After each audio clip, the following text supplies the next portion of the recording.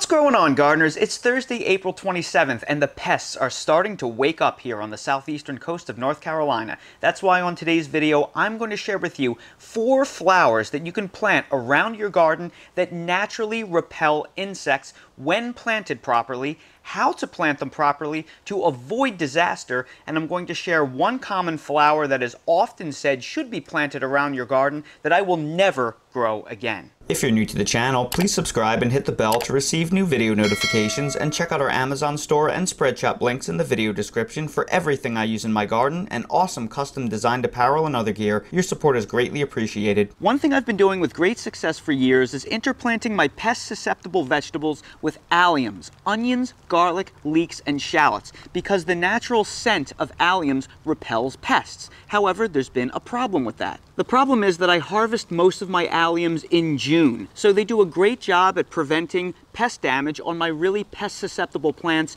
in late spring, but then I pull them out of my garden and the most extreme insect damage that I get comes in July and August once the alliums have already been harvested. So I have my worst insect pest pressure in my garden and the alliums are no longer anywhere to be found. Luckily, alliums are not the only plants out there that naturally repel pests. There are lots of flowers out there that also have pest repellent properties that you can interplant within your pest susceptible vegetables that will repel pests all summer long and they will also have the added benefit of bringing in beneficial insects like pollinators into your garden. The first flower that can help you control insect pests in your garden is one I've been using for years with great success, and that is the sunflower. The sunflower is an amazing flower that can help you control insect pest outbreaks in your garden. However, it's not their pest repellent properties that make the sunflower so valuable, but rather their ability to attract certain pests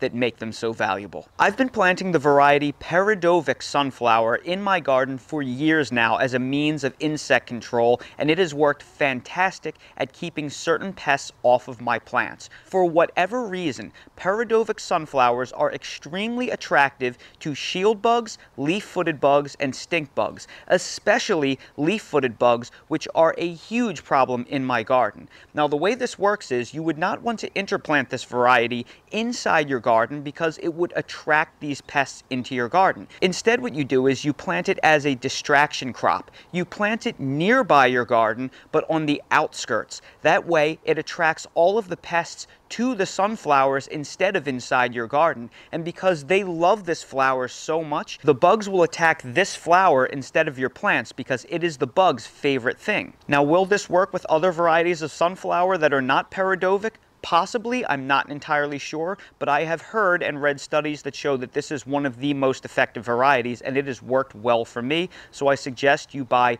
this exact variety to test it out. Here is how I use the sunflower to my advantage. What I do is I plant the Peredovik sunflower outside of my garden in this bed right here outside of the fence. And what that tends to do is it draws all of the leaf-footed bugs and the shield bugs and the stink bugs outside of my garden and they attack and attach themselves onto the sunflowers instead of damaging my tomatoes and peppers and the other fruits inside the garden that they like to stick their very destructive suckers on. Now what I have found is that the Peredovik sunflower is very attractive to these bugs, but not when it is fresh. When it has a large head and it is full of pollen and it is young and vibrant, it doesn't attract them in large quantities. It is most attractive to the bugs when it starts to die back and it starts to droop over and it starts to produce the seed. So what I like to do is I like to have multiple plantings of sunflowers in my garden so it's in all different stages so I have both young sunflowers that are very attractive to bees and the older sunflowers that are starting to droop that are very attractive to the nasty pests that I don't want around. Right here I have some Peredovik sunflowers that self-seeded from last year and they came up as soon as the frost stopped here. Then next to them I have some sunflowers that I direct seeded into the ground. And what is going to happen is these sunflowers right here are going to grow nice heads on them in probably about four to six weeks before the insect pressure gets very bad around here. And then they're going to form flowers that are going to attract bees those heads are going to begin dying back in probably late June, early July, that is when the leaf-footed bugs and the stink bugs really become a problem here in my climate. So they're going to attract those bugs away from my tomatoes. Then when those heads start really dying back and they're no longer of any value, these plants right here that would have been in the flowering stage that were attracted to bees, they are going to start dying back. So they're going to attract the leaf-footed bugs. And probably about four to six weeks from now, I'm going to start more sunflowers over here in the corner. And what they're going to do is they are going to be a planting behind my second planting of sunflowers.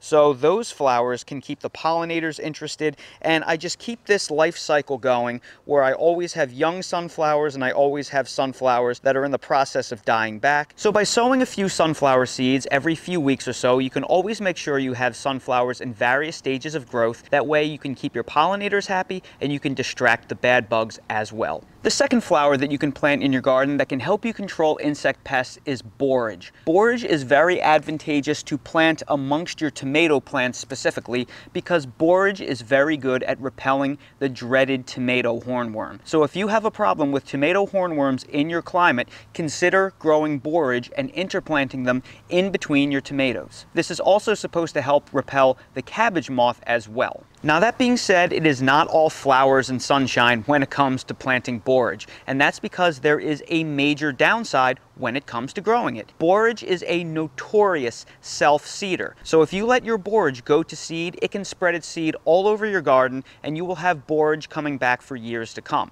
Now if that sounds like a positive to you, you can go ahead and you can freely let the borage do that. However, if you don't want the borage growing all over your garden beds for the foreseeable future, you will want to make sure that you monitor your borage and you pull them when the plants start drooping. So for that reason, you may want to consider succession planting your borage and making sure that you have some new plants that you can plant in the place of the old borage plants before you rip them out because your tomato plants are more than likely going to outlast the borage plants. So unless you want borage plants to be growing all over your garden, I strongly suggest you only interplant them with the tomatoes and you keep an eye on them and make sure that you pull them when they start to droop and don't let them go to seed. Otherwise, they can be more trouble than they're worth. So please keep that in mind. The third flower that you can plant in your garden that will help you repel insect pests is one that most of you are going to be interested in, and that is the nasturtium. The nasturtium flower is notorious for repelling two of our worst insects. That is the cucumber beetle and the squash bug. Many of us suffer miserably with these two pests, and we could use any help that we can get at getting rid of these bugs. If you grow any cucurbits in your garden, that includes squashes, zucchini, pumpkins, any kind of melons, cucumbers. You know how invasive those cucumber beetles and squash bugs can be. So it's great to know that we have a potential solution. And when you interplant these in between your squash and your cucumber plants, you can see good results because they are repulsive to those pests. Now the way you'd want to do this is you'd want to take the plants, your nasturtium plants, and you'd want to mix them in with your vining cucumbers, your vining squashes, whatever else you're growing in the cucurbit family, and you'd want to orient the nasturtium vines in such a way that they're basically crawling on top of your susceptible cucurbits. You don't want to blot out the leaves completely because they're going to need sun, but if you can intermingle them so they kind of grow in the same area,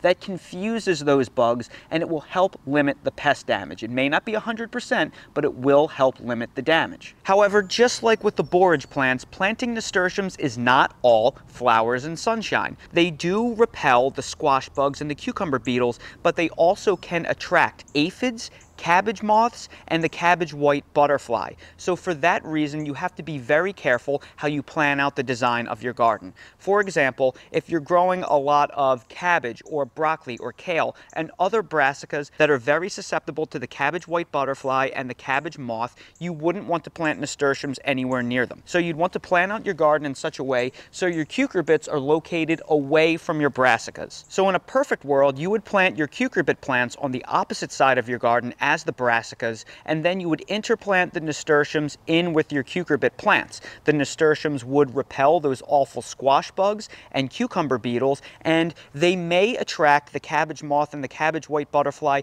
over to your cucurbit area, which is not a big deal because they're not susceptible plants. So you'll actually be doing your garden double help because you will be not only repelling the cucumber beetles and the squash bugs out of your garden in general, but you will attract the cabbage white butterfly and the cabbage moth away from your susceptible brassicas and over to your less susceptible cucurbits. So it's basically a two for one shot if you plan things out perfectly. And the fourth flower that you can plant in your garden to help repel pests is the flower that I am most excited about, and that is the pyrethrum daisy, which is the species Tanacetum coccineum. Now, I never took Latin, so I don't know if that pronunciation is perfect, but it is very important that you at least write that species name down for this reason. When you hear the words pyrethrum daisy, you may be thinking of the botanical insecticide pyrethrin. Pyrethrin is extracted from the chrysanthemum flower, and it is extremely potent. It is a natural botanical insecticide that when extracted, when it contacts any insect, it is almost instantly deadly. It is a potent neurotoxin to insects, and the pyrethrum daisy is where we get pyrethrin from. The problem is that the pyrethrum daisy also goes by the name painted daisy, and if you just search seeds for a painted daisy, you can get many different species of flowers. So it's very important that if we buy painted daisy seeds for insect repellent purposes, it's very important that we get painted daisy seeds that are of the species Tanacetum coccineum because that is the pyrethrum daisy. We want to make sure we get the right plant. Now, if you're having trouble finding seeds using the species name of the flower, you can buy the Robinson's Mix Painted Daisy. That is what I purchased. I bought them off of Amazon, and I'll make sure to drop a link in the video description to that item if you want those exact seeds, just to make things a little bit easier for you because they are a little tricky to find. Now, that being said, the pest repellent properties of the Pyrethrum Daisy is so vast that I had to write it down because I couldn't remember all of the different bugs that they repel. Now, now, they repel nematodes, leafhoppers, ticks, harlequin bugs, uh, spider mites, cabbage white butterflies, cabbage moths, and probably a lot more things. And if you're thinking like I'm thinking, you may be thinking, if it's a pyrethrum flower, does that mean that the plant is toxic to things like bees and pollinators? And the answer to that is no. The plants are actually highly attractive to bees and pollinators, so they are a good thing to have in your garden. They can help repel pests without harming the pollinators. The way that you actually extract the toxin is to wait for the heads to die back and to crush them and press them. I'm not not too sure how to do it. I've only briefly looked at the procedure. If you want to make your own natural pyrethrin insecticide, you can actually do it using these flowers, but you don't have to worry about the plants themselves harming good bugs. Now, one of the only downsides to the pyrethrum daisy is when the plants are young, they are susceptible to leaf miners and aphids.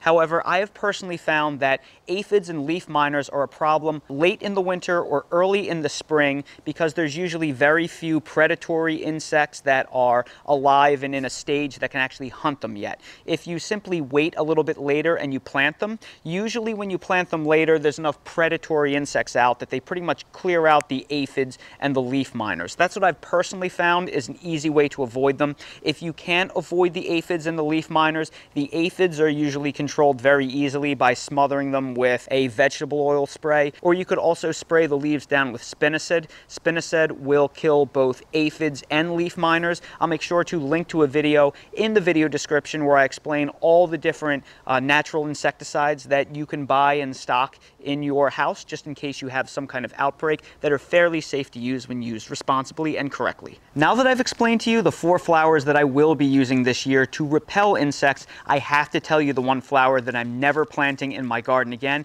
because it was nothing but problems for me, and that is the marigold. I have been hearing for years the amazing amazing pest repellent properties of marigolds, but unfortunately, when I tried it a few years ago, I had the exact opposite thing happen to me. Three or four years ago, I interplanted marigolds with all of my tomato plants because I heard about how they repel root knot nematodes, which are a problem here in the southeast where I live in the very sandy soil. However, I had something terrible happen, and admittedly, while I didn't have a root knot nematode problem that year, I did have something terrible happen. happen. Those marigolds attracted huge numbers of the cabbage white butterfly, and I had a cabbage worm infestation like I have never seen in my entire life. They ate all of my brassicas, my kale, my cabbage, my broccoli. They even moved into my sweet potato beds, and over the course of one day, decimated my sweet potatoes. It was horrific. And to make things even worse, those marigolds self-seeded everywhere. And I had marigolds growing in what seemed like every square inch in every corner of all my garden beds for years to come. In fact, I still see one pop up here and there, even though I haven't planted them in at least three years at this point. So they are very invasive. Now, look, this is just my anecdotal evidence with, uh, with marigolds. I may just have a species of pest in my area that that are very attracted to marigolds. So for me personally, it is not worth it. Maybe in your area, it will be worth it. Maybe you don't have those species of pests, so you'll only get the good results. However, for me personally, it was a disaster. I won't grow them again for that reason. So I just wanted to share the negative because no matter what we do in our garden, even if there are positives, there may always be downsides as well, and we have to keep that in mind. So I wanted to take this time and inform you all of these various flowers that you can interplant around your garden and use them to your advantage to naturally repel unwanted pests from your garden. However, I didn't want to do it in such a way that only talks about the upsides because there are downsides to this as well. And if you do it incorrectly, you can actually attract pests to the wrong areas. So we really need to keep that in mind. I know how amazing it sounds that we can just plant things around our garden and it'll chase away all of the bad pests pests while letting the good pests come in, but that's not how nature actually works. There's a give and take, so we have to make sure that we fully understand what we're doing and we take advantage of the good things and that we don't bring the bad side effects that come along with what we're doing into our gardens. So that being said, I wanted to leave you with these three different pieces of advice that I want you to remember when planning out your garden. Number one, while some plants will repel insects from your garden, they may bring in new insects as well. So make sure that the insects they do attract are ones that you want in your garden around those specific plants. Number two, remember that while interplanting these pest repellent plants in your garden may help reduce the pest populations, it will not necessarily eliminate your pest populations. You still may need some type of insecticide or pest removal procedure. So don't think that these are a one-size-fits-all solution. They are not, especially if you have a lot more pest pressure than most areas like I do. And number three, remember that most of these plants that we're using for insect repellent properties are going to have a shorter lifespan than the plants that we're trying to protect. For instance, a borage plant is going to live a much shorter life than a tomato plant that we're trying to use the borage to protect. So it may take several succession plantings of these various flowers so you'll have to keep replacing them as the season drags on if you have a longer living annual vegetable that you're trying to protect. So please keep that in mind. Keep the schedule of the season in mind and don't expect all of these plants to work all season long if you're not going to replace them with fresh plantings. And that is how you can use these beautiful flowers to repel insect pests from your garden. So everybody, I sure hope you found this video helpful. If you did, please make sure to hit that like button, subscribe to the channel, and please ring that notification bell so you're notified when we release more videos like these. Like I said, if you're interested in the pyrethrum daisy flower, or if you need natural and organic supplemental insecticides to help round out the edges and get rid of any pests that these plants will not help repel on their own, I'll make sure to place those direct links into the video description for your convenience. And while you're there, check out my Amazon storefront for everything I use in real life in my garden. Thank you all so much for watching, and I hope to see all of you again on the next video. And if you have any questions, please ask them down down in the comments section below. Hey Dale, check it out buddy. Look over at the pond. There's a gator that's sunning over there. You see that gator? I see him. This time we're not going to make the mistake and not look when we go walk around the pond because there may be gator sunning. We're not going to have an incident like last time where we didn't see the gator five feet away from us, right buddy? Let's not go over there. We'll give the gator his space. He's being a good boy, just catching some rays like we are.